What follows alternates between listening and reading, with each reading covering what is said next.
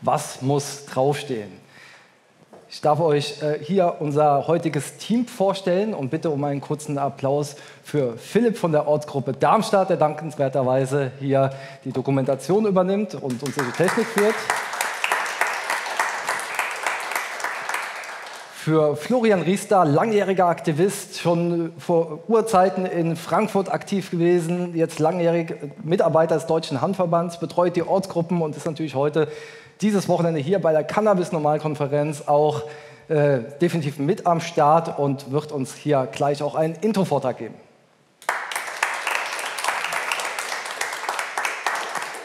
Mein Name ist Micha Greif, ich bin ehrenamtlich äh, Sprecher der Landesarbeitsgemeinschaft Drogenpolitik der Grünen, arbeite als Referent für den Branchenverband Cannabiswirtschaft und ja, bin froh, euch hier das Thema präsentieren zu können. War selber früher auch beim DRV aktiv, habe die Ortsgruppen Münster und München gegründet und war jahrelang Sprecher. Genug, so, genug von mir. Ich gebe die Bühne Florian für den Input-Vortrag. Ja. Jo, danke Micha für die Einleitung. Herzlich willkommen alle, schön, dass ihr da seid. Thema heute Sicherheit und Transparenz. Äh, wie gehen wir mit Verpackungen um? Was muss draufstehen? Was muss auf einer Cannabis-Verpackung draufstehen? Ja, der Grund, dass ich gefragt wurde, hier heute äh, diese, diesen Input-Vortrag zu machen, ist der, dass ich schon diverse Länder bereist habe, in denen legales Cannabis verkauft wird. Colorado, äh, Kanada, Kalifornien und äh, natürlich auch die etwas näheren, aber nicht ganz so legalen Möglichkeiten in Spanien und Holland. Die These des Handverbands ist erstmal grundsätzlich, damit die Konsumenten sicher, informiert und aufgeklärt Cannabisprodukte genießen können, sollte es entsprechende Angaben auf der Verpackung geben. Das äh, würde ich jetzt erstmal als These bezeichnen. Wenn wir äh, mal in die 90er oder sogar noch früher zurückblicken, 80er Jahre, dann haben Cannabis-Konsumenten beziehungsweise auch andere Menschen, die sich mit Legalisierung beschäftigt haben, unter Legalisierung meistens genau sich das vorgestellt. Einen Coffeeshop in den Niederlanden, in dem Blüten aus Einmachgläsern oder aus Tupperdosen oder sonst irgendwas entnommen, in kleine Plastiktütchen gesteckt werden und dann verkauft werden. Ohne besondere Verpackung, ohne besonderes Labeling und ohne staatliche Regulation tatsächlich auch in diesem Fall. Aber das war im Prinzip das, was ganz viele Menschen immer im Kopf hatten, wenn es um legales Cannabis ging. Ähm, wir haben dann 2006 ungefähr in Deutschland das erste Mal diese Produkte gesehen. Medizinisches Cannabis, was aus den Niederlanden kam, was eben das erste Mal quasi verpacktes Cannabis war in Europa. Und wenn wir uns hier das Label angucken, dann sehen wir hier zum Beispiel äh, eine Chargennummer, eine, äh, ein Ablaufdatum quasi, nachdem es nicht mehr gebraucht werden soll und den THC und den CBD-Gehalt. Wir sehen kein Warnlabel, äh, das davor warnt, irgendwie Kinder den Zugang zu gewähren oder ähm, danach Auto zu fahren oder andere Dinge. Dann haben wir 2012 das erste Mal einen wirklich legalen Cannabismarkt auf der Welt gesehen in Colorado. Das ist der erste US-Bundesstaat, der sich dafür entschieden hat. Und auch dort war das Packaging und Labeling erstmal noch relativ simpel.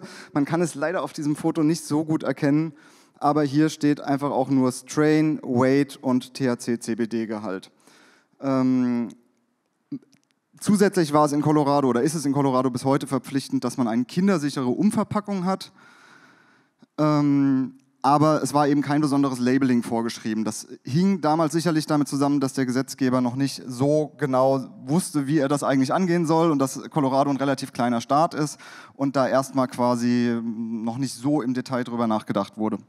Diese kindersichere Umverpackung war aber schon so der erste Schritt, wo viele Leute in Colorado gesagt haben, äh, das ist ja unnötiger Müll. Ja, man hat immer diesen unnötigen Müll, man hat unnötiges Plastik. Kalifornien 2016 dann ähm, mit dem berühmten CA-Kennzeichen, was man heute auch in Deutschland öfters mal sieht auf äh, Schwarzmarktverpackungen, sage ich mal, die besonders hochpreisig angeboten werden, wird gerne dieses Label verwendet. Ansonsten auch relativ überschaubar von den Warnhinweisen. Äh, ja, erstmal hier ein bisschen Ingredients, Instructions, und Government Warning, this product contains cannabis, a Schedule 1 controlled substance. Keep out of reach of children and animals. Cannabis products may only be possessed or consumed by persons 21 years of age or older, unless the person is a qualified patient. Da, da, da, Um, don't use cannabis while pregnant or breastfeeding. Maybe harmful consumption of cannabis products impairs your ability to drive and operate heavy machinery. Also das Übliche im Prinzip, was man auch von vielen Medikamentenbeipackzetteln kennt. Halt das weg von Kindern, fahr kein Auto damit und äh, bedien keine schweren Maschinen. Ähm, erstmal so sehr naheliegende Hinweise quasi aber äh, in einer normalen Schrift, nicht übertrieben groß, ohne riesige Warnkennzeichen, ohne jetzt irgendwie, äh, sage ich mal, Bilder, die ähnlich sind wie dem, was man bei Zigarettenpackungen heute in vielen Ländern der Welt sieht. Ja, hier auch nochmal ein Cannabis Edible aus äh, Kalifornien. Auch hier, sage ich mal, ja, die übliche bunte Aufmachung, äh, sehr freundliche Aufmachung, sehr wenig abschreckend. Und auch hier nur ein kleiner Warnhinweis eigentlich. Ne? Ähm, Make cause miracles würde ich jetzt mal eher als Werbespruch bezeichnen, als als ernsthafte Verbraucherinformation. Dann habe ich hier ganz interessant in einer Dispensary in Kalifornien äh, diese freiwillige Packungsbeilage bekommen. Das ist das einzige Mal, dass ich in den USA quasi eine freiwillige Zusatzinformation von einem Store bekommen habe. Und das fand ich persönlich sehr interessant, dass Unternehmen dann eben gesagt haben, okay, gut, auf den Verpackungen steht nicht so viel drauf, aber wir wollen den Konsumenten mehr Informationen mitgeben, gerade den Erstkonsumenten, gerade den Touristen, die äh, erstmal noch relativ neu sind.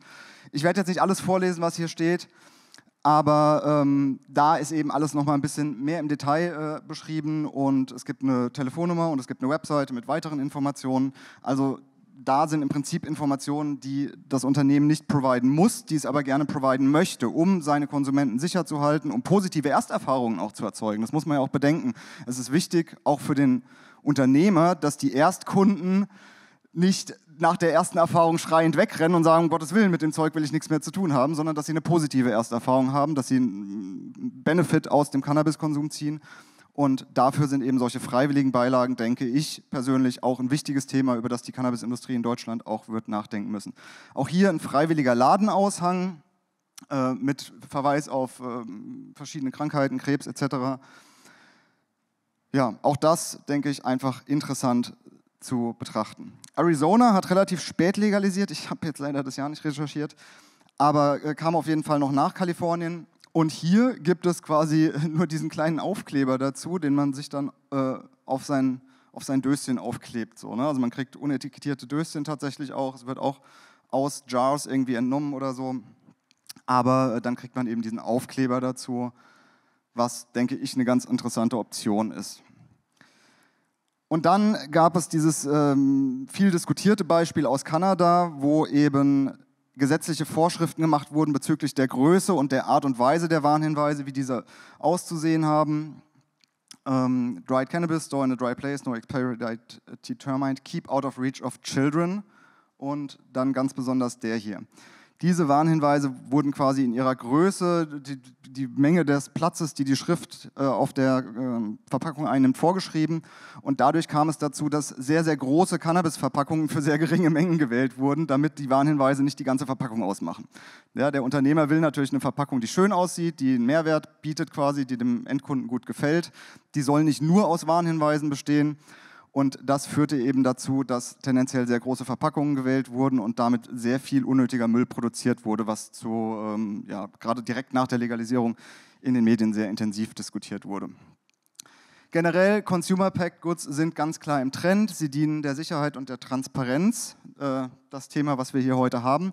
Aber sie dienen eben auch der Produktmaximierung, das muss man auch ein bisschen, äh, der Profitmaximierung, das muss man auch bedenken. Äh, Unternehmen verdienen mit Consumer Packed Goods mehr Geld als mit unverpackten Produkten. Ähm, eine Gurke wird mehr wert, wenn man sie klein schneidet und in Plastikpackung packt und Dressing drüber macht quasi. Ne? Also ein weiterverarbeitetes Produkt und ein verpacktes Produkt steigt im Wert. Die Frage ist, was wollen wir für Deutschland? Wie wollen wir, dass der zukünftige Cannabismarkt aussieht? Die Debatte heute hier ist erstmal völlig frei. Wir können da völlig frei von der Leber weg diskutieren. Natürlich können wir davon ausgehen, dass die Regierung irgendwelche Warnhinweise vorschreiben wird, irgendwelche Verpackungsmechanismen vorschreiben wird. Aber hier heute, denke ich, können wir erstmal völlig frei diskutieren. Und in diesem Sinne, ja, danke ich euch für euer Zuhören und wünsche euch eine angeregte Diskussion.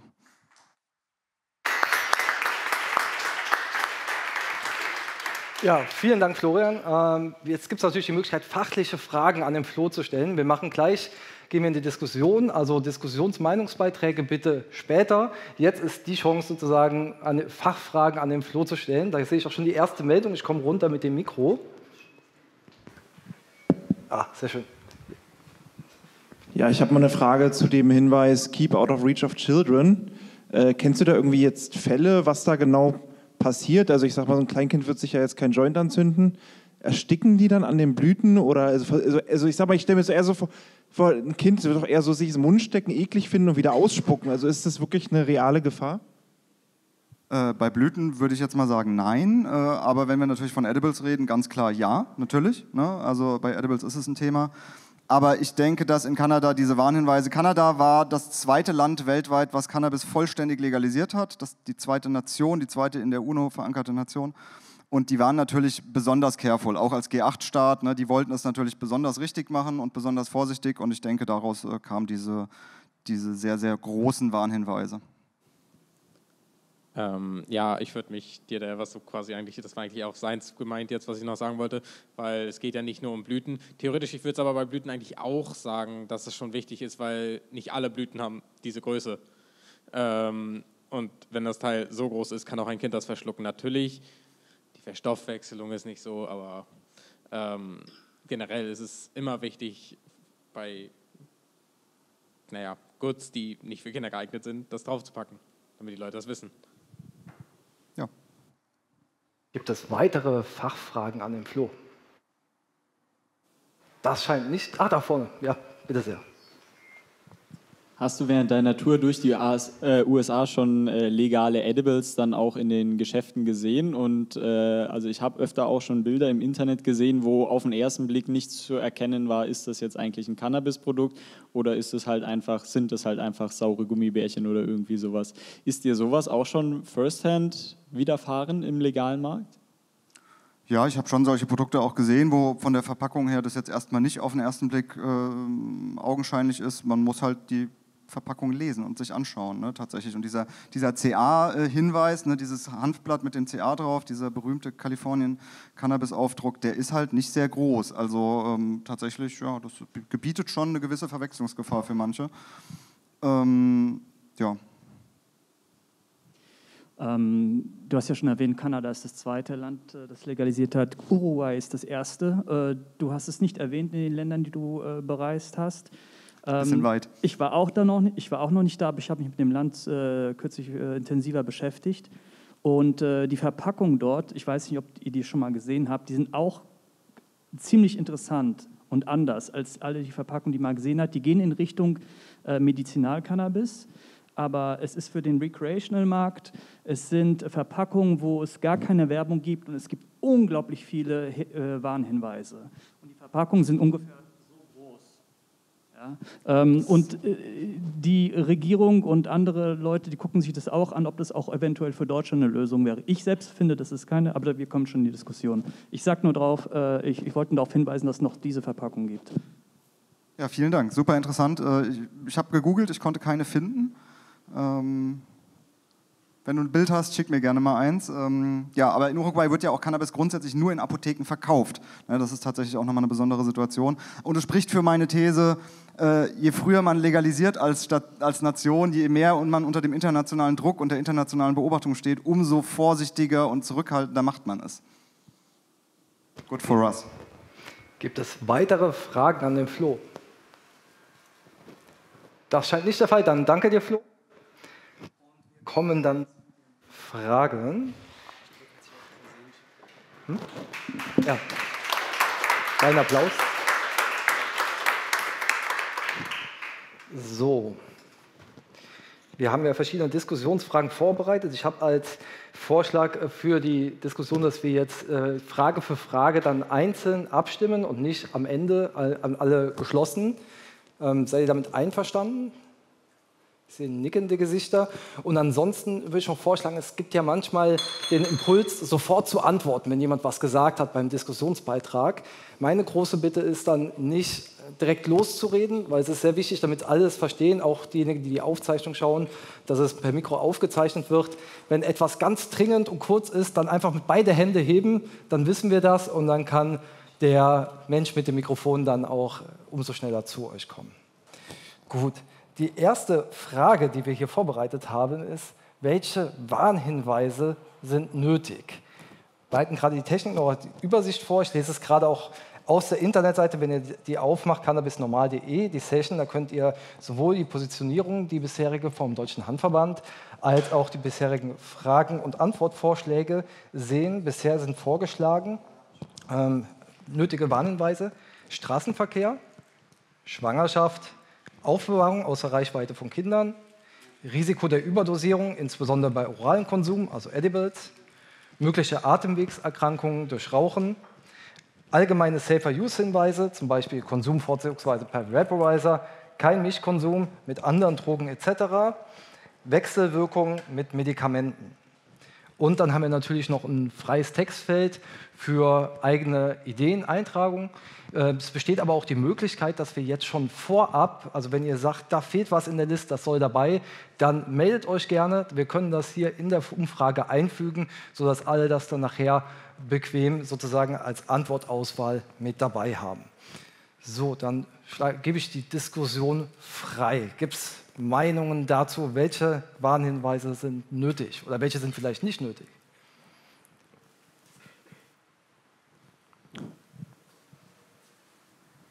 Hier vorne gibt es eine Meldung. Hallo, ich bin Simon vom Hamstjournal. Ähm, ich bin Cannabis-Patient und auf meinem Medizinalcannabis steht eigentlich nur drauf, dass es die Fahrtüchtigkeit beeinträchtigen kann. Mehr Warnhinweise habe ich nicht bekommen. Die restlichen waren nur im Arztgespräch. Mhm. Und an sich gehe ich auch davon aus, dass die meisten Cannabiskonsumenten selbst, sich selbst aufgeklärt haben bisher. Dementsprechend reichen minimale Hinweise, was mhm. halt passieren kann. Und was halt wichtig ist, vor allem auch für die Fremdgefährdung, wie jetzt zum Beispiel Fahrtüchtigkeit und Maschinen. Mhm. Okay, vielen Dank. Dann haben wir da hinten die nächste Meldung. Ja, hallo. Jürgen Haas, mein Name. Also ich bin da ganz anderer Meinung. Äh, Im Gegenteil, gerade wenn wir die Legalisierung bekommen, wird es sicherlich sehr, sehr viele Leute geben, die in, den Shop reingehen, Edibles holen oder so. Wir haben es vorhin in der anderen Session gehört äh, von unserem Speaker, was in Amerika teilweise auch äh, ja, bis hin zu illegalen Edibles äh, verkauft werden. Ähm, und daher äh, sehe ich die ganz große Gefahr, wenn wir legalisieren, dann wird es auch viele Leute geben, die sich eben nicht mit dem Vorwissen, was hier so herrscht, äh, ja, in den Shop gehen. Und daher äh, sage ich, da muss man meiner Meinung nach sogar ein Maximum an Aufklärungsarbeit leisten. Ob das jetzt alles auf der Packung draufstehen muss oder ob das nicht mit ja, Shop, mit Beratung, weil wir, gehen ja davon aus, dass wir Fachgeschäfte haben, wo beraten wird, äh, das ist sicherlich ein Diskusionspunkt, aber äh, an sich sollte der Nutzer die Möglichkeit haben, so gut so informiert zu werden, wie, ich sage jetzt mal, als wenn er keine Ahnung hat. Also absolut nachvollziehbar. Wir haben auch später, kommt auch noch die Frage, wo denn die, oder wie diese Warnhinweise dargestellt werden sollen. Das heißt, wir fokussieren uns jetzt darauf, welche Warnhinweise sehen wir als nötig an, sollen also Pflicht sein, dass sie irgendwo dargestellt werden, sei es auf der Packung, sei es auf der Internetseite oder an anderen Stellen. Gibt es da weitere Meinungen zu? Oder Fragen, Diskussionsbeiträge? Ja, hier vorne. Danke, ich bin Henning. Ich würde mir wünschen, äh, in Deutschland müssen wir für jede Kleinigkeit einen Führerschein machen. Ein Gabelstapler, einen Autoführerschein, selbst für so eine Ameise im Supermarkt, ne? wenn man da Paletten mit her transportieren würde. Ich wünsche mir einen Führerschein für den sicheren Umgang mit Hanf. Den Erwachsene machen und äh, der dann drauf ist, das kann man äh, mit Sicherheit irgendwie äh, als zusätzliches Qualitätsmerkmal von mir aus äh, anprangern. Äh, anprangern ist das falsche Wort, aber anzeigen, weil ähm, der, der, bewusste Umgang, finde ich, damit wichtig sein sollte. Danke. Weitere Wortmeldungen? Ja. ja vielleicht ein Hinweis. Also ich, äh, mein Name ist Erich aus Kiel. Ich vergleiche Cannabis ja im Sinne der Gleichstellung mit Alkohol und Nikotin, mit Zucker, Television und Sex, alles Sachen, die irgendwie süchtig machen können. Und das Problem ist, dass man da nicht überall gewarnt wird. Also auf der Alkohol, auf der Bierflasche steht auch nur der Inhalt drauf, der wirklich drauf gehören muss.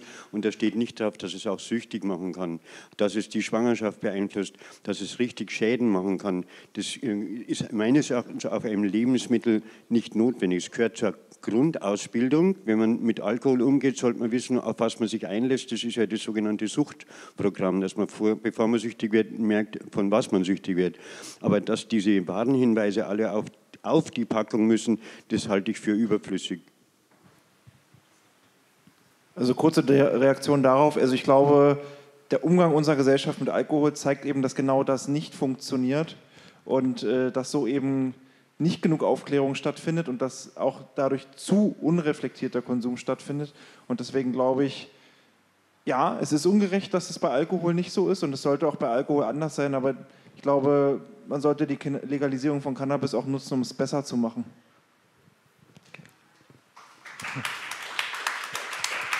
Vielen Dank. Ja, dem kann ich auch nur beipflichten und ähm, ähm, würde in dem äh, Zusammenhang, also äh, ähm, auch nochmal erwähnen, dass so ein Warnhinweis, also die Kritik, die es eben gerade noch gegeben hat an diesen, an diesen Warnhinweisen, dass das ja jetzt keinen abschrecken würde und dass es ja zur Grundbildung gehören würde, ist zwar richtig, aber trotzdem ist es halt eben auch ein, ein ja, also schon, schon ein gewisses Signal. Ansonsten bin ich ja immer, es gibt ja unter Prohibitionisten immer so diese These von dem falschen Signal, was ausgesendet wird, aber in dem Fall ist es halt wirklich, hat es halt wirklich eine Symbolik, die schon irgendwie was aussagt, so ähnlich wie bei Zigarettenpackungen eben auch, wo Warnhinweise drauf sind, wo ich persönlich jetzt auch diese Horrorbilder äh, nicht so sinnvoll finde. Äh, was sich in der Präventionsforschung gezeigt hat, ist auch, dass dieses sogenannte Plain Packaging, was es in manchen anderen Ländern schon gibt, also dass es einfach neutrale Verpackungen gibt mit Warnhinweisen, aber eben nicht zwangsläufig mit Horrorbildern drauf, dass das eigentlich äh, die beste Lösung ist. Und ich denke mal, das sollte sowohl für Alkohol als auch für Cannabis gelten, um einfach zu verdeutlichen, dass es jetzt nicht ein lustiges Lifestyle-Produkt, sondern das hat seine Risiken. Okay. Also keine Horrorbilder auf Cannabis-Verpackungen. Äh, Mikro bitte. Äh, äh, bitte mit Mikro. Also ich bin da äh, relativ liberal eingestellt, wie so eine Verpackung drein, äh, aus, ausschauen sollte. Und es sollte auch möglich sein, dass es eine Produktdifferenzierung gibt bei den verschiedenen Anbietern. Ähm, trotzdem äh, gibt es eine Minera Minimalanforderung an Warnhinweisen und die würde ich erstmal nur darauf beschränken, an wen das eigentlich abgegeben werden darf und an wen nicht. Deswegen ist dieser Hinweis ähm, erst ab 18 Jahren oder nicht unter 18 Jahren oder was auch immer Alt, der Alter dann am Ende sein wird, ähm, eigentlich Pflicht.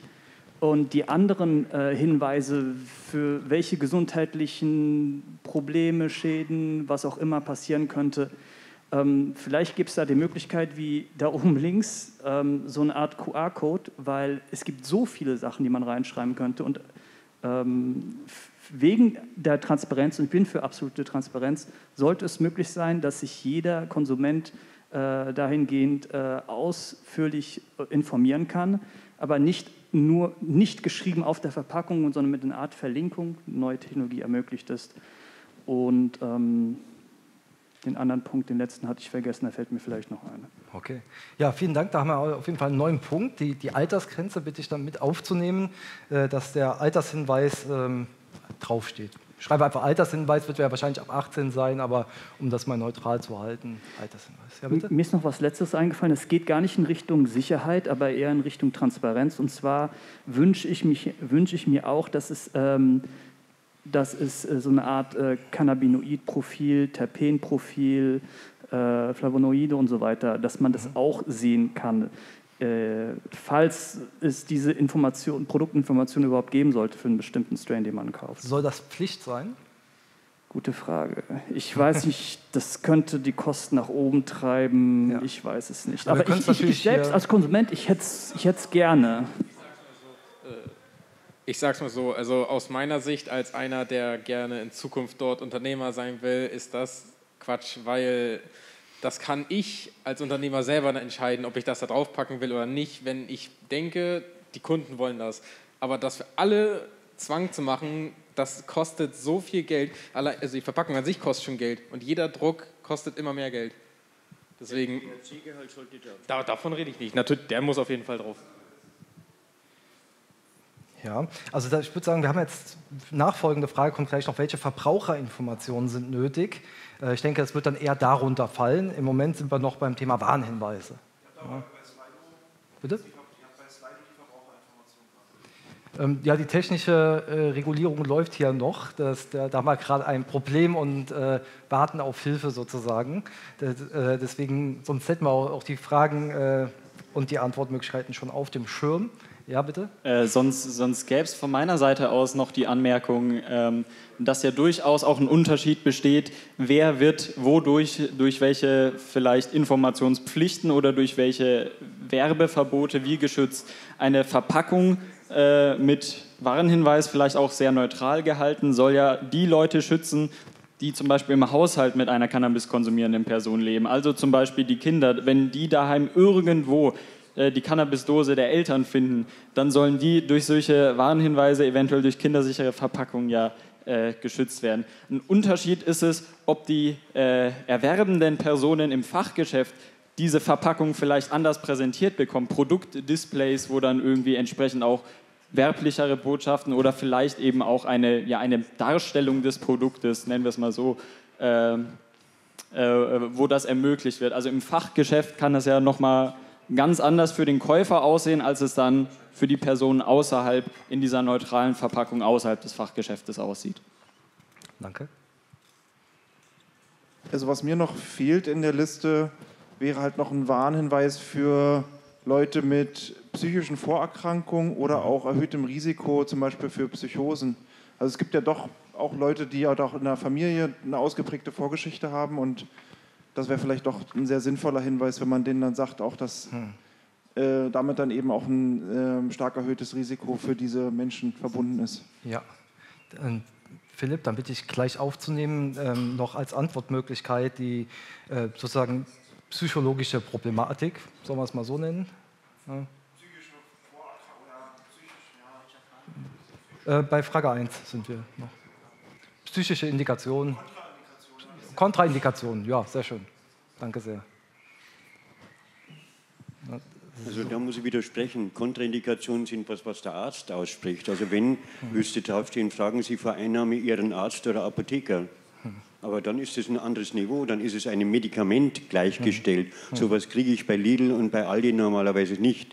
Auch in meinem Laden habe ich in der Regel, wenn ich persönlich da bin, eine Beratungsmöglichkeit. Ich habe so und sowas, kann ich es da einnehmen? Also das ist quasi immer individuell. Ja. Ich kann alle möglichen sagen, kann zum Beispiel, ich habe einen Fall, Morbus Hodgkin ist schlechter geworden. Mhm. Soll ich das vielleicht mit auf die Packung schreiben? Das ist uferlos.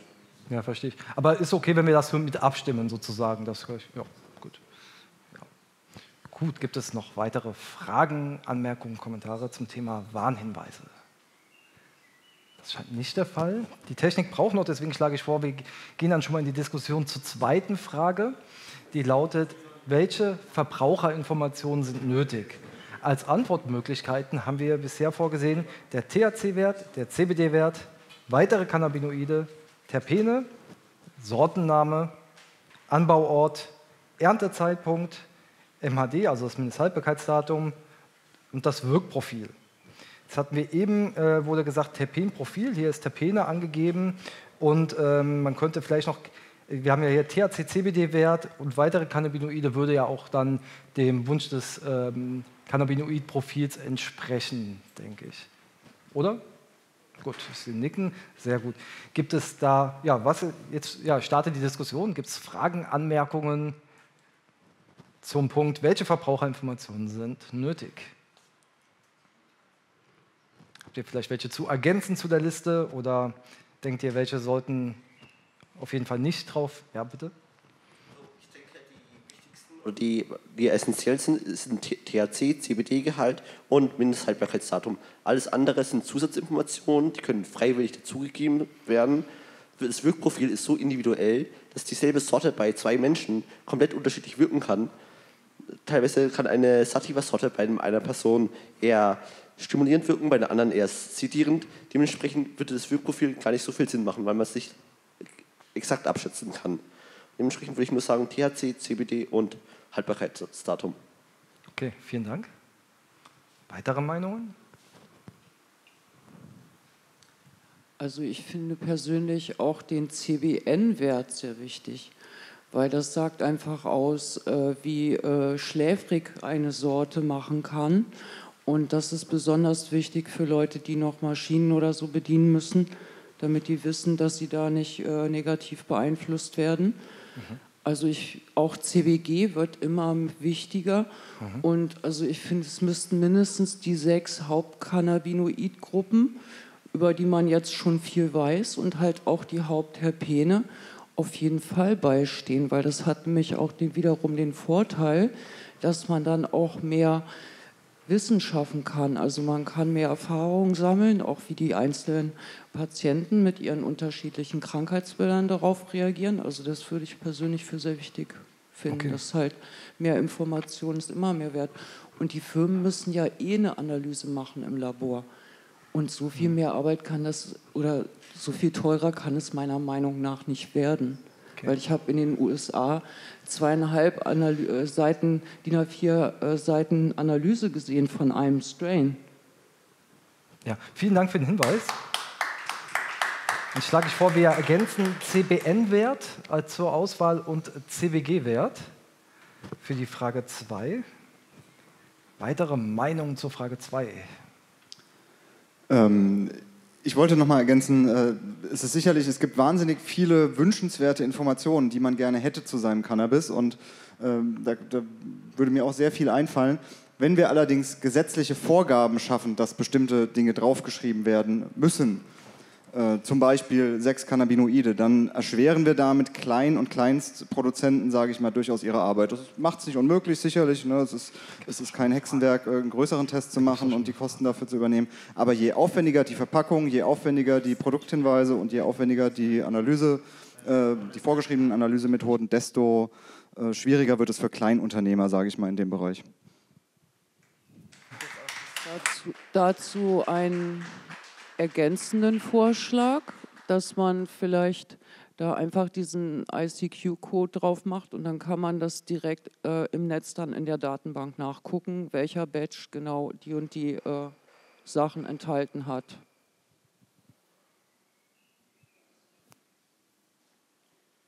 Ähm, da finde ich eigentlich gerade, muss ich ehrlich sagen, die Idee von der Dame echt nicht schlecht. Man könnte es ja natürlich sagen, dass es auf der Verpackung quasi immer einen QR-Code mit wie gesagt, allem, was man ja theoretisch anbieten könnte, macht und dann aber als Hauptanteil eben nur sagt, CBD, THC, äh, Mindesthaltbarkeitsdatum, vielleicht Sortenname, je nachdem. Wenn man Edibles macht, muss man jetzt, glaube ich, nicht die Sorte zwangsweise angeben. Ähm, und genau, irgendwas hatte ich noch. Ähm, nee, gut, hat sich erledigt.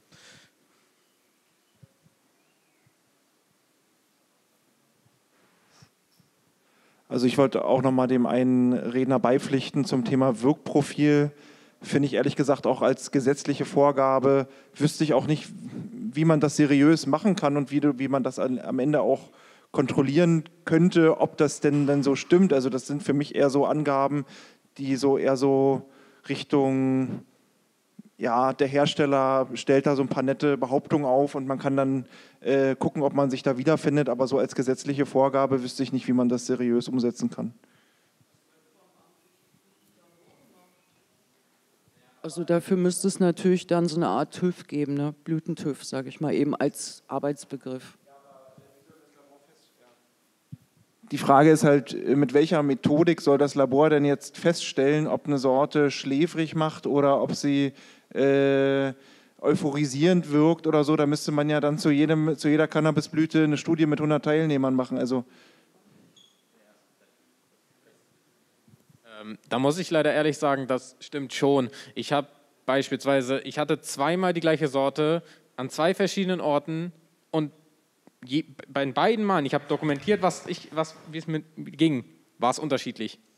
Das heißt, das Wirkprofil genau zu bestimmen, ist fast unmöglich, außer man nimmt immer nur Stecklinge. Das ist die einzige Möglichkeit. So. Okay. Ja, vielen Dank für die Beiträge. Ja, bitte Mikro. Und selbst dann ist es von Person zu Person immer noch unterschiedlich. Das darf man auch nicht vergessen. Okay, vielen Dank. Gibt es dann noch weitere Diskussionsbeiträge zur Frage 2? Welche Verbraucherinformationen sind nötig? Ich würde vielleicht ganz kurz äh, auch dem beipflichten, dass so ein äh, Produktidentifier zum Beispiel äh, als QR-Code aufgedruckt, äh, wenn der flächendeckend eingesetzt wird, dann könnte man die Verpackung auch relativ simpel halten, zum Beispiel nur mit CBD und THC gehalten von den äh, Cannabinoiden und Terpenen her. Und der Rest ist für die, die es interessiert, dann online verfügbar. Aber für, für Einsteiger, die ja sowieso mit verschiedenen Terpenprofilen nichts anfangen können, die werden nicht überladen, sondern die haben eine realistische Chance, auf den ersten Blick zu erkennen, das ist jetzt eher der Schnaps oder das ist eher das Radler.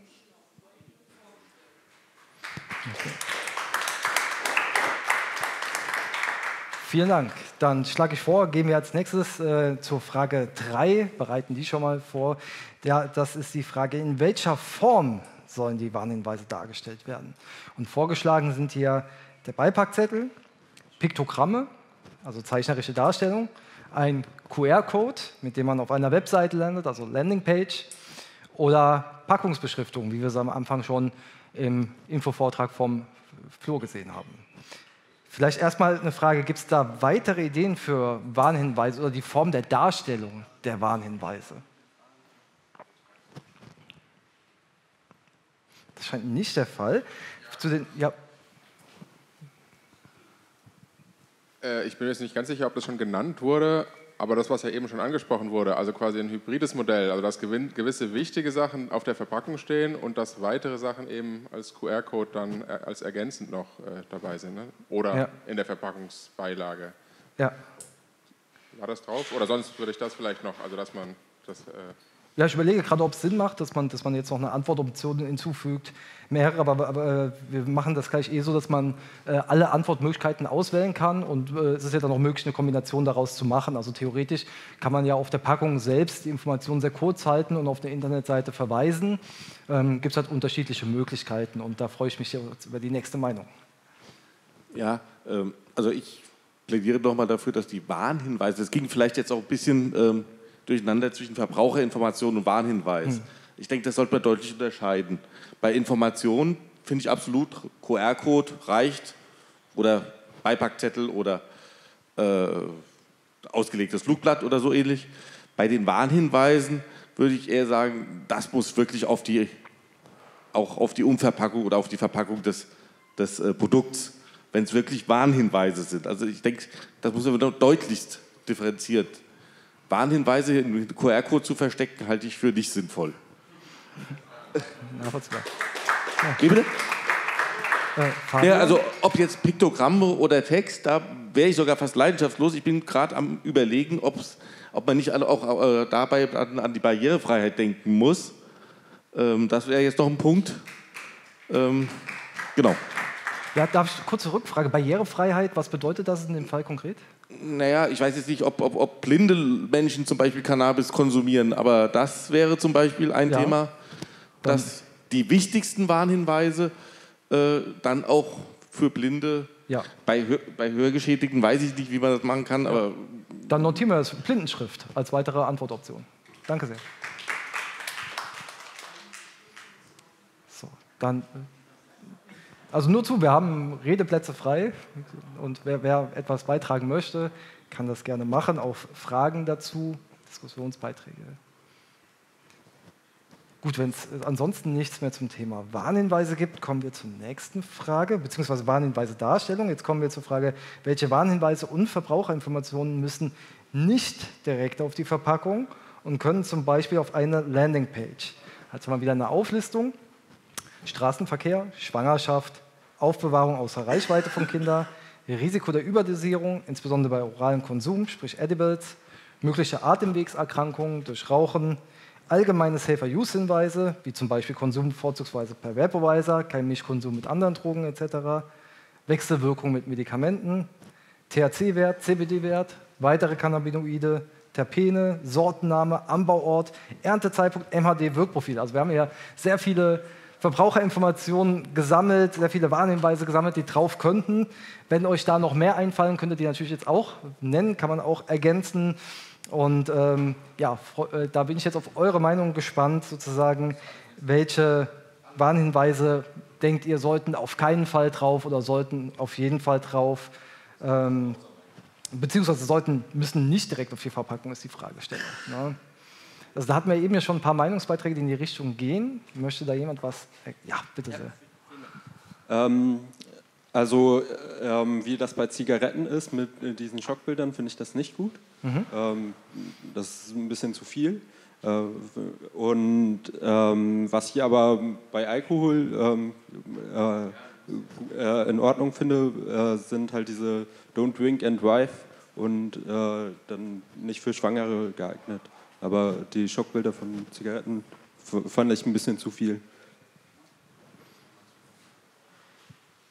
Also ich glaube, wir hatten jetzt ja Schockbilder gar nicht so als Auswahloption, aber ich, vielleicht noch kurz. Da, genau.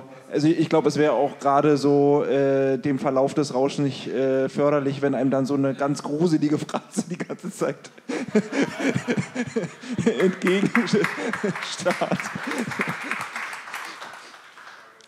Nee, also ich, ich denke, äh, was sollte auf jeden Fall drauf, würde ich jetzt vielleicht mal sagen, weil das ist vielleicht dann weniger als das, was er vielleicht alles nicht so drauf kann. Also ich denke, so die wesentlichen Warnhinweise vielleicht als Piktogramme, um Platz zu sparen und THC-Wert und CBD-Wert äh, sollte drauf und ich glaube, auf die weiteren Cannabinoide und Terpenprofil und so, das kann man dann auch in weiterführende Informationen ähm, packen, zum Beispiel über, über den QR-Code dann. Danke sehr. Weitere Meinungen dazu? Das scheint nicht der Fall. Dann können wir schon zur fünften Frage übergehen. Das ist, sollte der Verkauf von unverpackten Cannabis erlaubt werden? Da gäbe es einmal die Option, dass man sagt, ja, grundsätzlich, ja, aber mit Beipackzettel oder ja, nur in der Gastronomie, Gastronomie. also so quasi zum Sofortverzehr oder nein. Ähm, ist damit quasi das wie in Holland gemeint? Als unverpackt. Quasi, dass du es rausnimmst und in so ein Baggy reinlegst. Oder dein Baggy mitbringst. Weil. Ach so, ja, ja. Ich glaube, es geht ja erstmal um Verkaufen, oder nicht? Genau, es geht ja um den Verkauf. Das ist ja dann nichts mit mitbringen. Ich glaube, dein Weed, wie du das umfällst, ist ja egal. Das wird ja. Nein, aber ich meine, es gibt ja diese Unverpacktläden auch für Lebensmittel. Ne? Man geht hin, man bringt seine Verpackungen mit, die genutzten. Ja, man muss nicht alles immer nochmal neu in Plastik und Papier einschweißen äh, und, und lässt sich das dort abfüllen. Oder man geht mit seiner Dose halt irgendwie in den Laden und der packt einem die zwei Gramm Gras da rein und dann ist gut. Ja, ja okay, so hatte ich gerade gar nicht überlegt. Ja, dann, dann, dann muss ich. Ja.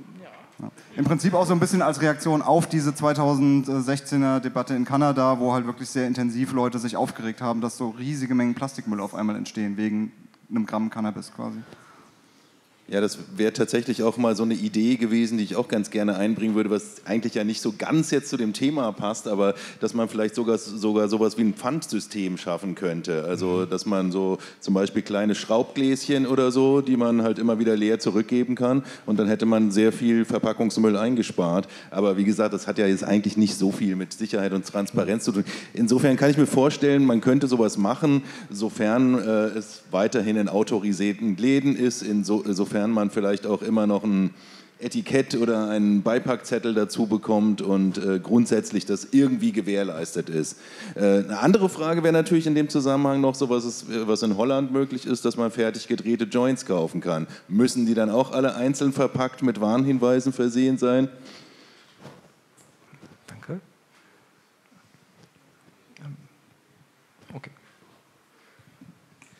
ich möchte mal so als Denkanstoß äh, nochmal hinzufügen, dass es äh, in dem Falle, wo man es einfach so lose abgibt, ähm, ein Problem geben könnte mit der Rückverfolgbarkeit, falls eine Rückverfolgbarkeit des Produktes äh, gesetzlich vorgegeben sein wird. Sagen wir, du kaufst das Produkt und du möchtest wissen, wer war der Hersteller, wo wurde es verpackt und fangen wir bei, den, bei der Seedbank an und so weiter. Ähm, das ist eine Frage, das hängt davon auch ab. Ja? Das ist nicht so einfach zu beantworten. Ähm, deswegen, und es würde auch die ganze Diskussion, die die vorgeführt haben, natürlich auch in Frage stellen. Weil wozu äh, überlegen wir uns, was auf eine Verpackung draufkommen soll, wenn wir dann am Ende sagen, ja, aber du kannst es auch einfach nur so äh, äh verkaufen. Deswegen sehe ich da einen logischen, also ich sehe da ein Problem, ein Dilemma. Man könnte es ja auch eingegrenzt machen. Das ist die Frage, wenn man jetzt in einem äh, wenn man jetzt in der Gastronomie ist und man möchte vor Ort etwas konsumieren, angenommen, das wird erlaubt, ne, muss das dann in, in, in, einem kompletten Verpackungskram drin sein, mit allem drum und dran, oder darf man es in dem Fall dann vielleicht auch so abgeben? Ne? vielleicht ganz kurz direkt darauf. Ähm, wir, wir, verhandeln ja jetzt hier heute Positionen, die wir an die Politik herantragen. Und wenn wir davon ausgehen, dass selbst wenn jetzt hier 90 Prozent sagen, wir wollen unverpacktes Cannabis und wir wollen gar keine Packungsbeilagen und wir wollen überhaupt gar keine Warnhinweise, wir dann trotzdem in der Lage sein sollten, der Politik auch zu sagen, wenn die sagen, ja, ihr müsst aber Warn oder wir müssen Warnhinweise schaffen, dass wir dann trotzdem mit denen über das Wie verhandeln quasi äh, und nicht kategorisch sagen, nein, wir wollen das nicht und deswegen reden wir auch nicht darüber, wie das aussehen könnte, wenn ihr das unbedingt wollt. Ähm, genau, zudem, das wollte ich nämlich genau sagen, das, was du nämlich eigentlich gesagt hattest, ähm, das mit dem Nachverfolgen macht aus einem einfachen Grund keinen Sinn. Wenn ich mir jetzt ein Medikament hole, nehme ich manchmal aus der Packung, pack's in meine Plastikbox und schmeiß die Packung weg. Und dann ist gut. Da fragt mich keiner, hast du jetzt deine Tablette äh, bei Apotheke Meier gekauft? Das hat mit Rückverfolgung ja nichts zu tun. Und das Gleiche ist ja das, wenn man ein Stück Kuchen kauft oder was noch immer. Also Rückverfolgung macht in dem Sinne keinen Sinn, weil mein Weed nehme ich aus der Verpackung, pack's in mein Gläschen, wo ich es gerne haben will und schmeiße die Verpackung weg. Mikro bitte. Jetzt hat sich jemand Aber wenn es halt im Shop verkauft wird, dann sollte der Laden auf jeden Fall schon eine Rückverfolgung haben, damit, man, damit er nicht von irgendwo herkommen kann. So, wir haben jetzt hier vorne zwei Meldungen. Ist eins davon direkt dazu? Ja, dann vorne. Ja, also ich verstehe den ökologischen Aspekt auch, dass man Verpackungsmaterial vermeiden möchte. Beim Thema Rückverfolgbarkeit wird es auch immer die Personen geben, die gerne wissen wollen, wo das Cannabis angebaut wurde und auch die Lieferkette gerne nachverfolgen möchte, so wie es auch bei Lebensmitteln normal ist, dass man wissen möchte, was man eigentlich zu sich nimmt, sodass die Rückverfolgbarkeit schon gewährleistet sein sollte. Ich würde gerne noch den Punkt Jugendschutz mit einbringen. Uh, unverpacktes Cannabis kann natürlich auch in die Hände von Kindern und Jugendlichen geraten, auch wenn da natürlich eine gewisse Verantwortung bei den Eltern natürlich liegt. Und wir dürfen auch nicht vergessen, dass seitens der Politik eine Cannabissteuer gewünscht ist, die natürlich auch irgendwo auf eine Verpackung rauf muss, das Steuersiegel. Das heißt, so komplett unverpackt wird es auch aus politischer Sicht meiner Meinung nach nicht gehen. Okay, danke sehr. Ist die Meldung noch offen von eben? Okay, hat sich erledigt. Gut, gibt es weitere? Ja. Ein Vorschlag, eine Idee spontan, wenn man so eine sogenannte Safebox schafft, wo alle Informationen elektronisch zur Verfügung stehen, in dem Moment, wo derjenige die Box dann öffnet und meinetwegen werden von der elektronischen Stimme vorgelesen mhm. und dann kann man halt damit wieder zum Shop gehen und die wieder auffüllen lassen, mit den neuen Informationen und Inhalt natürlich. Okay. Clemens hier vorne? Also, da, also Mitte. Ich, ich habe noch mal eine Verständnisfrage zu deinen Ausführungen eben. Ja. Eben, du hast eben gesagt, äh, unverpackter Verkauf zum Beispiel in der Bar zum Direktverzehr. Mhm. Also das äh, habe ich jetzt so bisher in die ganze Diskussion noch gar nicht wahrgenommen, dass das mhm. überhaupt eine Option sein kann. Mhm. Wir reden ja immer darüber, über Fachgeschäfte mit. Mhm. Also wir wissen es natürlich noch nicht, wie es ist, ähm, aber die Frage stellt sich natürlich, wie geht man um mit dem Thema Gastronomie? Und es kann ja beispielsweise eine Option, ist zum Beispiel die Frage, wollen wir Cannabis-Cafés haben, wo man eventuell nur Cannabis als Rauschmittel bekommt. Das könnte, könnte ja möglicherweise eine Option sein. Mikro Entschuldigung, ist, ist, ist derzeit aber nicht Stand der Diskussion, oder? Oder ist nicht jetzt in den Legalisierungsdiskussionen. Äh, also da, ist, da ist noch überhaupt dabei, nichts fix. Ne? Ja, also, okay. Und bisher ist es, also von der Politik merke ich jetzt, da äh, spüre ich keinen starken Drang in Richtung Cannabis-Gastronomie. Ähm, aber äh, wir, wir, können ja, ist halt die Frage, mal überlegen, ob das in unser Thema passt, Sicherheit und Transparenz. Hm, wäre jetzt sehr stark ausgedehnt, aber, aber ich, ich mache es gerade mal einfach ganz mal, einfach mal frei Hand per Handzeichen. Wer wäre dafür grundsätzlich, dass es Cannabis in der Gastronomie gäbe? Ne? Wer wäre dagegen? Also es war jetzt es war, es war einstimmig, wobei wir haben eine Wortmeldung. Mikro bitte. Dann ja, nicht ausschließlich, sondern halt eben auch als Teil, als ein Durchführungsweg. Wir haben auch vorhin bei den CSCs so toll darüber gesprochen, was für unterschiedliche Modelle da sind. Und äh, natürlich soll es auch das geben. Ja, ich finde dieses Ja, Nein schwierig an der Stelle. Okay. Weitere Wortmeldungen? Ja. Ich wollte einfach fragen, äh, die Silo äh, oder Sido-App, äh, funktioniert die noch? Oder? Ähm, wie machen wir das da? Die Technik ist noch, äh, das, das kommt noch. Wir ja. werden dann am Ende zum Schluss äh, alles gemeinsam abstimmen in ja, einem Rutsch. Okay, okay. genau. genau. Ja. Genau. Wir sind ja im Moment äh, sozusagen bei der Diskussion zur Frage 5, ob der Verkauf zum unverpackten Cannabis erlaubt werden sollte. Aber wir können natürlich gerne jetzt im Rahmen, wo wir aufs Thema Gastronomie gekommen sind und da wir gut in der Zeit liegen, ne, wenn ihr da Meinungen zu habt, gerne raus damit. Ne ja, grundsätzlich nicht nur äh, Cannabis-Blüten in der Gastronomie, Cafés etc., sondern natürlich auch Infused äh, Restaurants. Ja? Also äh, es gibt durchaus auch die Möglichkeit, wunderbare Speisen mit THC zuzubereiten, in sehr niedrigen Dosierungen, in mittleren Dosierungen etc. Und äh, ja, da wäre eine Verpackung bzw. ein Warnhinweis auch schwierig umzusetzen. Wenn man im Restaurant sitzt und ein Fünf-Gänge-Menü genießt quasi, dann will man das nicht aus einer Plastikpackung quasi rauskratzen. Also dazu könnte ich mir vorstellen, dass man das vielleicht online dann vorbestellen kann, das Dinner. Und dann kann man genau äh, festlegen, äh, wie viel in der Vorspeise und im Hauptgang oder Dessert dann enthalten sein soll pro Person. Dann weiß die Küche vorher schon mal Bescheid und kann das ganz professionell dann vorbereiten. Danke. Sagt die Bäckerin. Der Herr in der zweiten Reihe hat sich. In zweiter Reihe. Also jetzt generell bei dem Cannabis in der Gastronomie oder generell unverpacktes Cannabis könnte ich mir das dann nur so vorstellen, dass man zum Beispiel in der Speisekarte oder auf so kleinen Schildchen, wenn es jetzt wie beim Bäcker sozusagen in, äh, hinterm Glas ist, dass da zumindest dann die wichtigsten Sachen wie THC, CBD-Gehalt sind und dass man zum Beispiel, wenn da ein QR-Code ist oder man auf Nachfrage weitere Informationen halt einfach bekommen kann, sodass das Unverpackte dann in der Gastronomie auf jeden Fall möglich ist, aber die wichtigsten Sachen dann zum Beispiel in der Speisekarte einfach mit drin stehen. Läuft, steht's? Ah, gut. Also ein positives Signal von der Technik. Sehr gut. Hooray. Ja. Geballte Kompetenz wurde hier herangeholt und es hat geholfen. Gut. Ich würde sagen, wir führen erstmal die Diskussion. Ja, bitte? Ähm, die Frage, ob es Cannabis in der Gastronomie geben soll, kann man ja auch umstellen zur Frage, soll es Gastronomie im Cannabis-Fachgeschäft geben?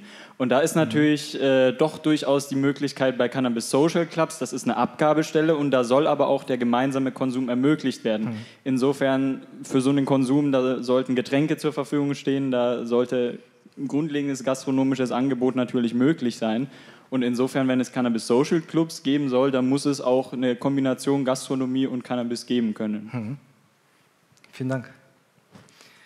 Ähm, da unser Hauptthema ja das Thema Sicherheit und Transparenz ist und wir eben so ein bisschen an dem Thema schon in der anderen Session dran war, da ging es um äh, Produktdeklarierung äh, etc. Ähm, oder Produktregulierung und da war eine Frage, die sich gestellt hat, das Verpackungsdesign. Sprich, sollte eine Verpackung neutral sein oder dürfen da knallbunte Bildchen drauf sein, die möglicherweise auch äh, für Kinder und Jugendliche interessant sind? Sollte eine Süßigkeit direkt als solche erkennbar sein oder nicht? Habt ihr da Meinung zu? Was ist eure Meinung?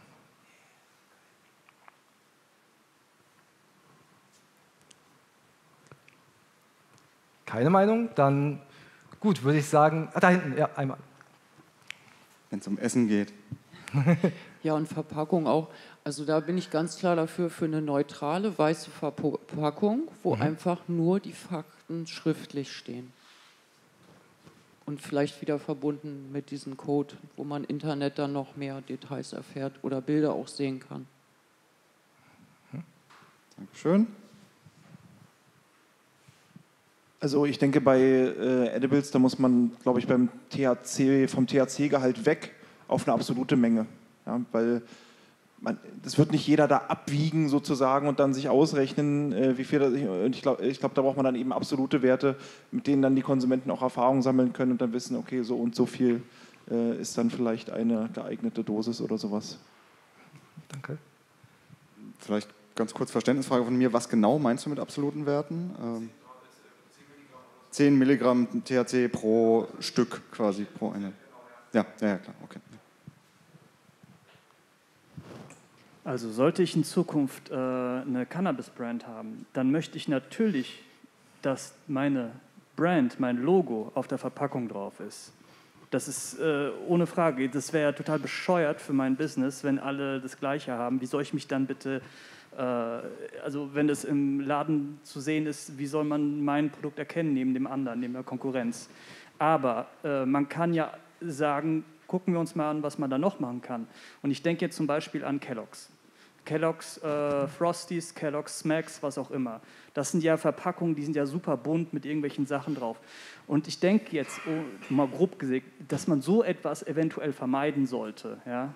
Und bestimmte äh, Sachen erlauben darf, wie zum Beispiel ein Logo, Brand, die Informationen, Farben, aber jetzt nicht so ungefähr sowas wie Comicfiguren oder weiß der Geier was. Aber darüber kann man so lange sprechen, aber das ist so ungefähr meine Meinung dazu. Okay, ja, wir haben da eine Sofortmeldung zu. Die doppelte Hand. Ja, ich wollte nur sagen, das sehen wir auch bei Medikamenten. Da kriegt man es ja auch hin, dass es schlichte Verpackungen gibt mit typischen Basisinformationen, äh, auch, auch weitere Links noch für weiterführende Informationen. Und trotzdem dürfen die Firmen ihr, ihr, ihr Logo nutzen. Ja?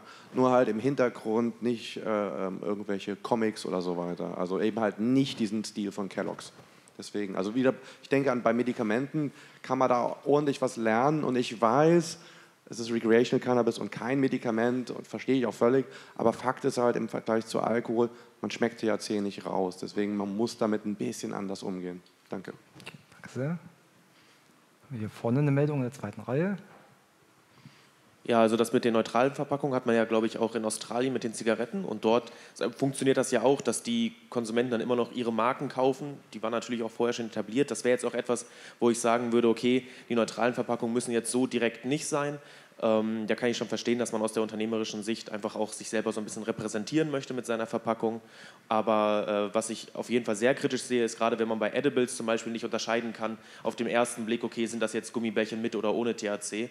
Gerade äh, ja, wenn man sich dann vorstellt, dass das zu Hause irgendwie rumliegt und dann geht da doch irgendwie mal ein Kind bei, auch wenn es natürlich nicht sein sollte, aber dann denkt das nur, okay, Gummibärchen nehme ich und äh, ist dann natürlich auch ähm, nicht ideal oder wenn man halt im Laden ist und das einfach generell selber nicht mal so schnell unterscheiden kann und man sich dann im Endeffekt vergriffen hat. Also das so mit diesen ja, sehr bunten Verpackungen oder so würde ich vermeiden, aber ansonsten kann man schon äh, die Verpackung individuell gestalten. Danke sehr. Also wir hatten vorhin ja auch schon mal äh, so, so, das, so ein bisschen witzig das Thema mit den Schockbildern, aber vielleicht äh, nochmal ähm, ein seriöseres Statement dazu. Ich glaube, das muss man vielleicht auch den Politikern klar machen, äh, dass Cannabis ja, gerade wenn auch ein bisschen höher dosiert wird, vielleicht eben auch so eine psychedelische Wirkkomponente hat, wo dann auch, sag ich mal, äh, eine große Macht der Suggestion auch ist. Und ich sage mal, wenn ich die Verpackung dann so gestalte, dass dann äh, äh, dem Konsumenten nur Angst gemacht wird, kann Psychosen auslösen und das dann ganz äh, sozusagen auf ganz schreckliche Weise sozusagen dann da vermittelt wird, äh, kann das, glaube ich, dann auch der psychischen Gesundheit abträglich sein und, und nicht zuträglich. Ähm, deswegen ähm, glaube ich, ist es wichtig, dass wenn dann auch über Risiken informiert wird, dass das eben auch ins Verhältnis gesetzt wird und dass der Konsument dann eben auch, sage ich mal, gut darüber aufgeklärt ist, wie hoch denn das Risiko von einzelnen, sage ich mal, Dingen dann auch äh, ist. Also ich denke, das ist gerade eben auch für die Erstkonsumenten äh, dann wichtig, dass denen jetzt keine Angst gemacht wird. Ne? Ja, danke sehr. Kleine Anekdote dazu aus Indien. Äh, da stand auf der Bierflasche sinngemäß der Warnhinweis drauf: Alcohol can ruin family, job and life. Ja, also Alkohol kann Familie, Job und Leben ruinieren, als, als Warnhinweis. Es gab noch eine weitere Wortmeldung. Auch eine kleine Wortmeldung. Ich finde, Cannabis ist so etwas Besonderes. Das sollte an der Packung erkennbar sein, dass Cannabis drauf ist. Wir haben so einen Tee gemacht, der Mhm. ist aufgrund dieses Hanfblatts einfach erkennbar. Und dann weiß jeder, das ist jetzt kein Lauch und das ist kein Salbei, sondern das ist Cannabis. Und das meine ich, das sollte schon rüberkommen. Die Produkte sollten eindeutig erkennbar sein als Cannabisprodukte. Der Gehalt, ob es eben dann kann süchtig machen, kann ja drunter stehen, von mir aus. Das wäre dann eben dieser THC-Gehalt, der ja immer drin ist. Also bei uns ist 0,16 Prozent drin, aber ab 10 Prozent oder ab 2 Pro- 0,2 Prozent wird es Betäubungsmittel und dann ist es ja zunächst einmal nicht verkehrsfähig. Das soll sich ja alles ändern, aber die Grenzwerte sind ja auch noch nicht klar, was dann eben irgendwie ähm, von den Growern verlangt wird. Jetzt bei den medizinischen wissen wir, in welchen Chargen das gehandelt wird, 20 Prozent, 17 Prozent, 8 Prozent und das soll vielleicht sich erweitern, aber das sind dann eben so Sachen, die eigentlich medizinische Angaben sind, also weitere Angaben. Aber Cannabis sollte auf jeden Fall klar und deutlich erkennbar sein. Danke sehr.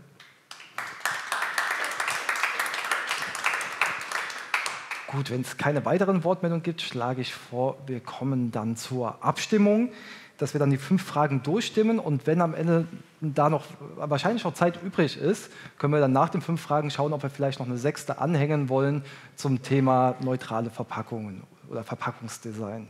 Genau. Gut, dann starten wir mal mit der Frage 1. Können wir die auf den Schirm bekommen? Ach so, genau, die Fragereihenfolge. Gut, dann deswegen die Frage lautet, welche Warnhinweise sind nötig?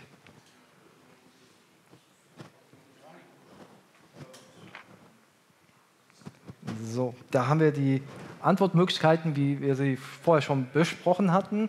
Und ähm, sozusagen ist jetzt die letzte Chance, wenn ihr denkt, da sollte noch was ergänzt werden, dann könnt ihr euch jetzt melden. Ansonsten bitte ich euch, dann ist die, die Abstimmung ist geöffnet. Gut, dann bitte ich um eure Abstimmungen. Hier auf der linken Seite habt ihr nochmal die Einwahldaten. Wenn jemand Probleme bei der Einwahl hat, bitte jetzt melden. Okay.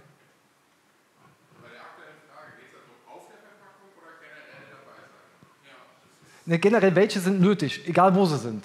Ja? Also auch wenn die irgendwo auf einer Internetseite stehen oder Beipackzettel, egal wo. Ja. Gut, braucht noch jemand Zeit? Das scheint nicht der Fall. Dann bitte ich um die Ergebnisse.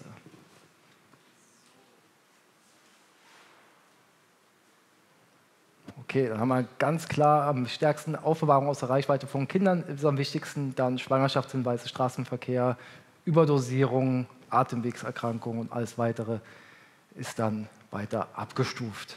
Schön. Dann kommen wir jetzt zur nächsten Frage. Das ist, äh, welche Verbraucherinformationen sind nötig? Erstmal äh, nochmal drüber schauen. Gibt es da etwas, was wir noch ergänzen sollten?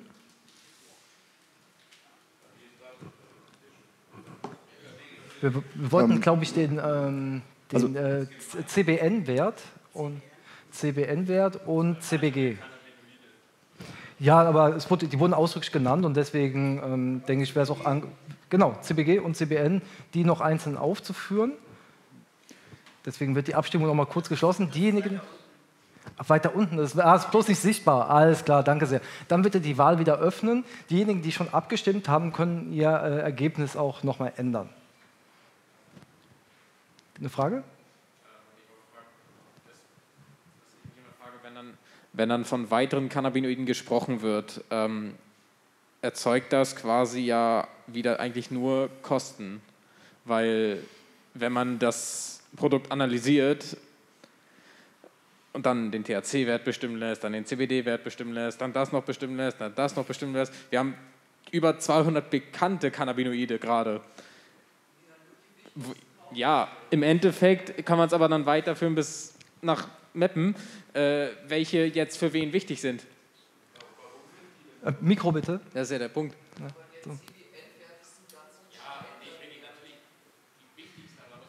so. Also okay, ich habe hab den CBN-Wert noch nie gehört. Äh, warum ist der wichtig? Oder, äh, oder äh, ja.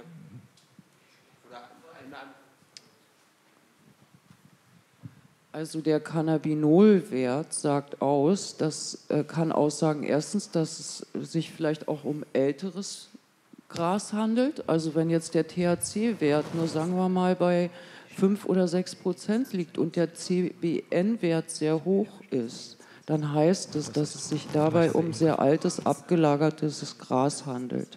Und außerdem macht CBN sehr müde und beeinträchtigt Leute, die tagsüber noch was gebacken werden äh, kriegen müssen. Ja, da eine Direktmeldung. Ja, vielen Dank für die Erläuterung. Stimme ich komplett zu. Und ich persönlich erachte auch CBN als relativ relevant. Aber in der Praxis halt, halte ich das für, für nicht besonders sinnvoll, bis auf, ich sage mal, ein paar Ausnahmeprodukte, weil wir reden ja von frischen Produkten. Da steht Mindesthaltbarkeitsdatum. CBN ist kaputt oxidiertes THC. Das wird, CBN wird nicht per se von der Pflanze produziert. Auch die Säurevorstufe, das ist auch noch so ein Thema vielleicht. Man sollte auch hier nochmal äh, in dem Kontext erwähnen, dass man hier wahrscheinlich Total THC meint, also die Kombination von THC und THCA, was vielleicht auch nicht, nicht jedem klar ist. Aber das ist auch ein Grund, warum ich auch Terpene nicht als Mindestanforderung ähm, empfehle. Terpene verfliegen über die Zeit. Dort eine Analyse zu machen, ähm, ist nicht relevant für ein Produkt, was drei Monate in einem Glas liegt. Genauso mit dem CBN. Also wenn ich ein Mindesthaltbarkeitsprodukt habe, weil ich einen THC-Gehalt garantieren will, warum muss ich dann spekulieren auf das Produkt, äh, wie es dann drei Jahre später ist und dann quasi einen hohen CBN-Gehalt hat? Das heißt aber nicht, dass wenn man Sorten hat mit einem hohen, beispielsweise marokkanische Haschsorten, traditionell mit einem hohen CBN-Gehalt, diese sollte man natürlich dennoch wegen diesem Merkmal entsprechend äh, labeln. Nur das würde ich wiederum den Unternehmen überlassen, weil es jetzt, ich sag mal, weniger sicherheitsrelevant ist als diese typischen THC-Informationen und Mindesthaltbarkeit etc. Also das würde, ich, das würde ich an der Stelle den Unternehmen überlassen.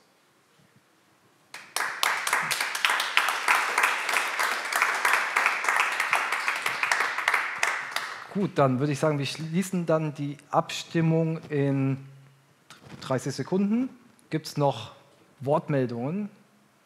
Es gab gerade Redediskussionen, also wenn ihr Sachen reingerufen habt, gerne auch noch mal ins Mikro sagen. Okay, Gesundheit. Gut, dann schließen wir jetzt die Abstimmung und kommen zu den Ergebnissen.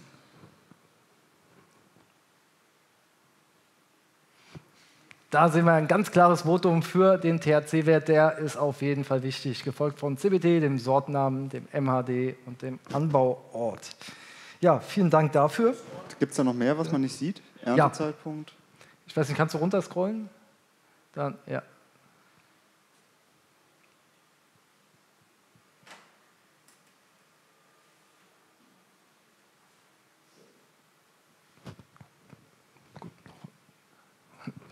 Niemand unentschieden, sehr gut.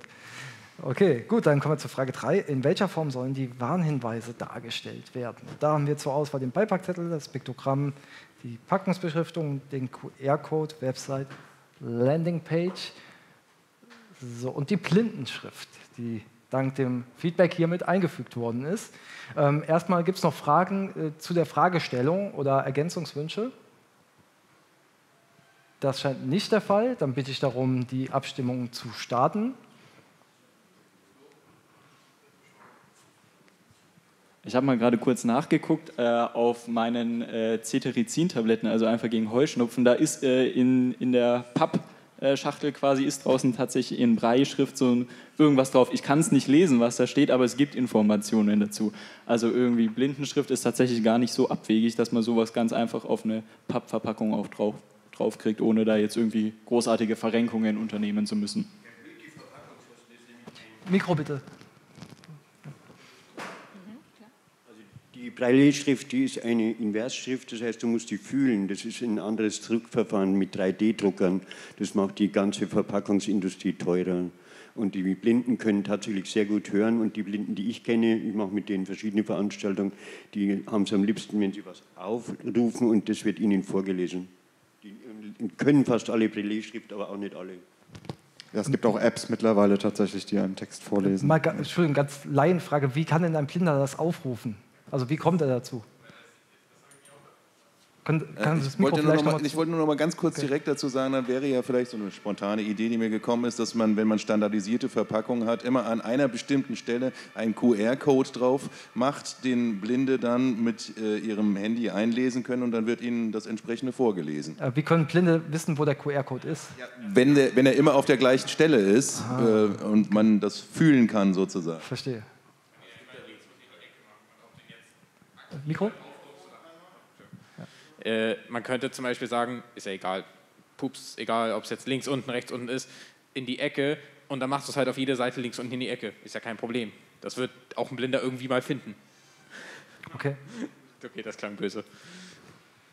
Darf ich das kurz erläutern? Die Blinden, die ich kenne, sind eigentlich gut in, eingerichtet. Es gibt sogar Schulungen für die Blinden. Mhm. Aber die gehen mit ihrem ähm, Leuchtfon, äh, das ist ja ein großes äh, Weitwinkelobjektiv auf dem Handy, und der, der QR-Code wird erkannt, wenn du in die Nähe kommst. Also der muss jetzt nicht genau angeleuchtet werden.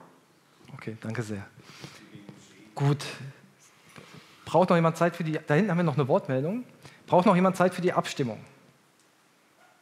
Das ist nicht der Fall. Dann können wir die Abstimmung schließen. Ja, bitte. Ähm, mir ging es jetzt gerade darum, vorhin hieß es ja, dass es äh, schwierig wäre, Edibles ähm, optisch abzuheben.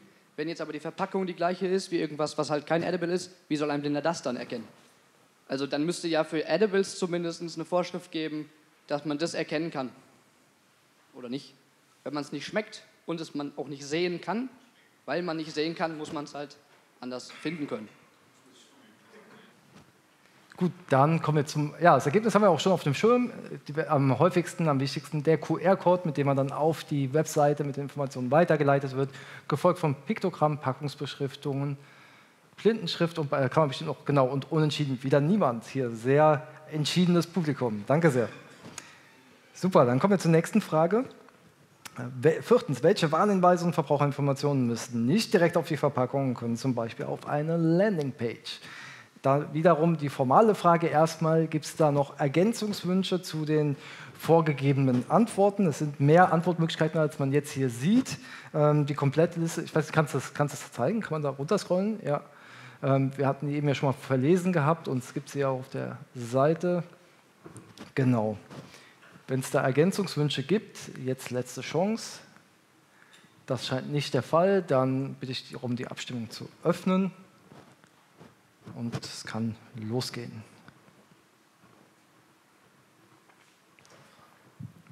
Ähm, ich dachte bei Warnhinweisen, dass die, äh, wenn es einfach allgemein gehalten sind äh, von THC und ähm, dass das äh, dann vielleicht einfach der Staat macht, da eine mit Warnhinweisen einfach, einfach eine komplette Seite, auf die man dann verlinkt. äh, Also eine zentrale und- Internetseite Ja. sozusagen von Behörden, vom Gesundheitsministerium beispielsweise oder der Bundeszentrale für gesundheitliche Aufklärung, Das- dann alle Informationen beinhaltet Das sozusagen. dachte ich vielleicht. Okay.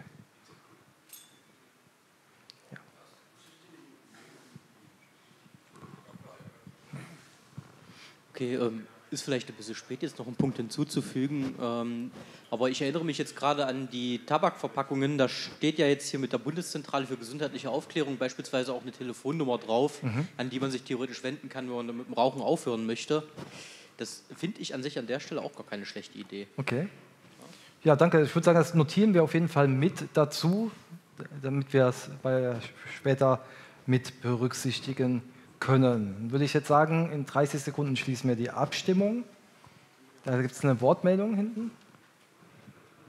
Ähm, ich würde sagen, es ist auch die Frage, äh, bei welch, ob wir das bei, also Warnhinweise auf jeden Fall, aber bei diesen extra Informationen muss es bei jeder Information, also es muss ja nicht jede einzelne kleine Information mit auf so eine kleine Packung mit drauf und ähm, viele kaufen ja auch immer wieder so, also müssen sie auch nicht immer wieder neu informiert werden, weshalb man auch so langsam, langsam eben diese Piktogramme zum Beispiel etablieren könnte oder halt auch diese ähm, am Anfang ja natürlich diese ganze Aufklärungsarbeit und auch diese QR-Codes, also einmal die ganze Palette. Ähm, aber dass man dann halt auch irgendwann dann guckt, so, okay, wenn man immer Beipackzettel, Beipackzettel, Beipackzettel jedes Mal hat, so ähm, häuft sich das und das geht ja direkt in den Müll sozusagen. Also deswegen, dass man da nochmal guckt, wie kann man das so ein bisschen in die Neuzeit äh, mit einbauen. so dass nicht so viel Müll auch entsteht und jeder Zugang hat. So. Danke sehr. Vorne gibt es eine Meldung in der ersten Reihe. Zu dem Punkt ist es vielleicht auch eine Option, dass man so einen Beipackzettel pro Einkauf hat und nicht pro Produktpackung. Also dass quasi nur der Händler dann wirklich einen Beipackzettel in die Gesamtbestellung sozusagen beilegen muss. Dann kann man sich ein bisschen Müll sparen und man hat allgemeine Hinweise eben auf diesen Beipackzettel. Und mit einem QR-Code gibt es ja immer die Möglichkeit, zu den detaillierteren Informationen dann zu kommen, wenn es einen interessiert. Gut, vielen Dank. Dann schließen wir die Abstimmung und kommen zu den Ergebnissen.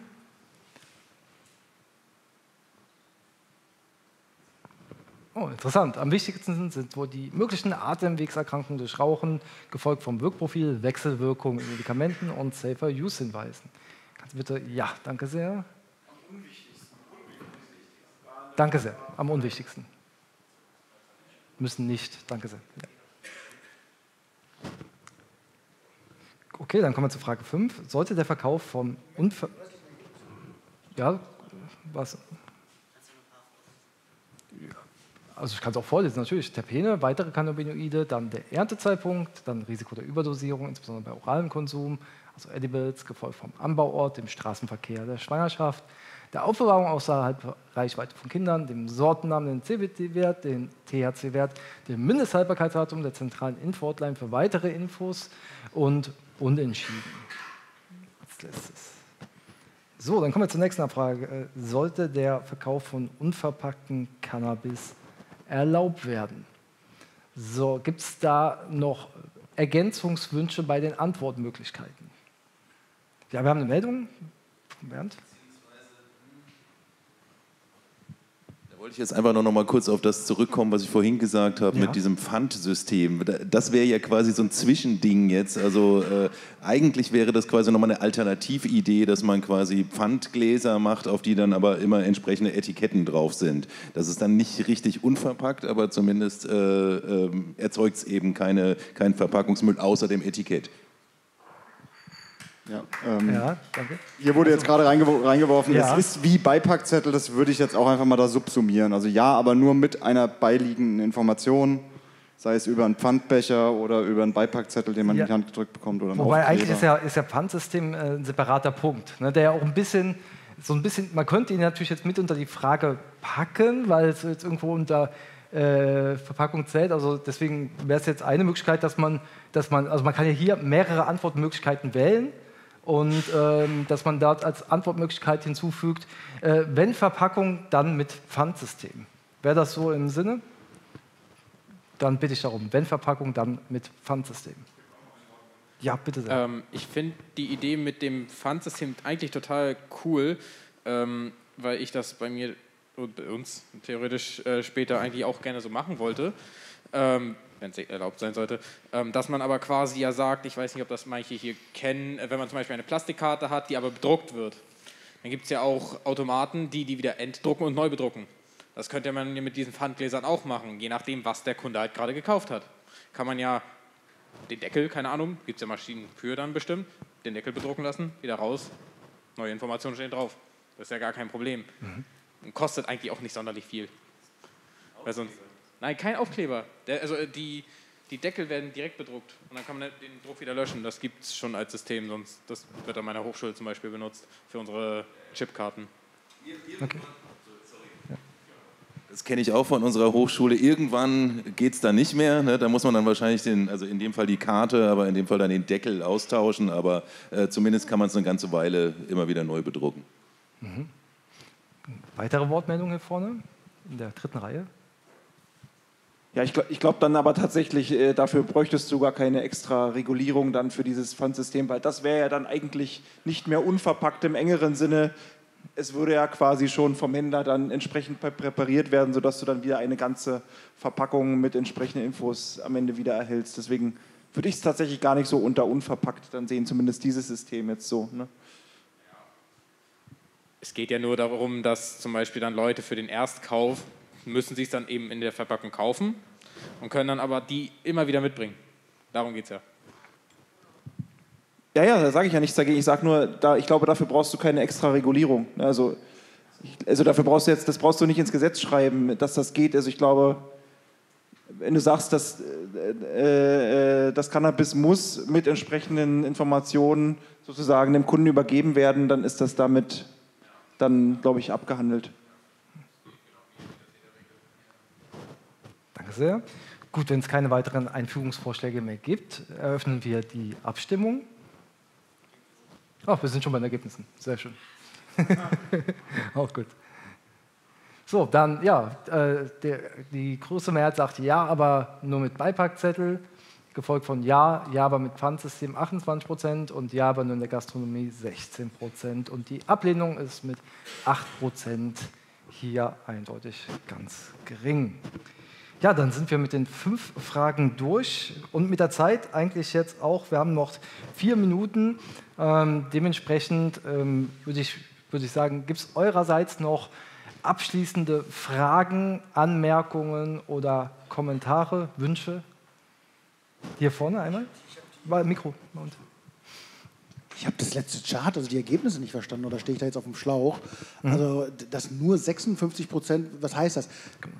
Könnt ihr mir die, Ergebnisse erläutern? Ich hätte die Ergebnisse sehr viel weiter bei 100 erwartet oder über 80 oder so. Also das ist Ja, können ja gerne andere Beteiligte sich äußern, direkt hinter dir. Ja. Vielleicht ähm, äh, die 100 Prozent müsste man ja, also wir haben 92 Prozent, die für Ja stimmen. Ähm, man müsste ja die 56 mit den 36 und 28 addieren und dann, dann also man konnte ja mehrfach abstimmen, oder? Aber ja, ja aber da. Äh, Wie viele sind denn unentschieden? Aber äh, Ah, acht ähm, Prozent, äh, 8% haben Nein gestimmt, Henning. Das heißt, 92% sagen eigentlich in irgendeiner Form, ja, unverpacktes Cannabis sollte verkauft werden. Hm. Achso, wie, okay, 16% haben nicht zugestimmt, danke. Sieht, sieht man jetzt gerade nicht. Aber insofern ähm, kann man davon ausgehen, dass äh, der Rest quasi grundsätzlich nichts dagegen hat, dass auch in irgendeiner Form unverpacktes Cannabis in Deutschland passiert. Okay, gibt es weitere letzte Fragen, Wünsche, Anregungen? Ansonsten bedanke ich mich sehr für die Teilnahme, wünsche euch noch viel Spaß hier auf der Konferenz. Bitte um einen Applaus für die Hilfe vom Flo und vom Philipp und wünsche euch ein schönes Abendessen.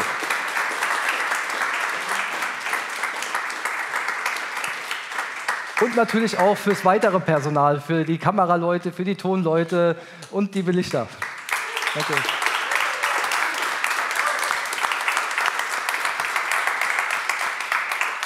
Alles klar.